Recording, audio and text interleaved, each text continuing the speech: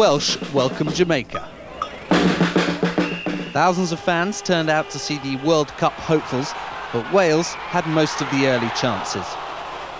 There were rare flashes of inspiration, but they were few and far between.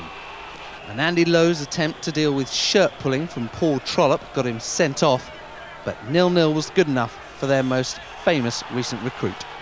I think it's part of the experience, part of the learning curve that's important at this stage um, of our preparation. So in that, in that way, it was a good test.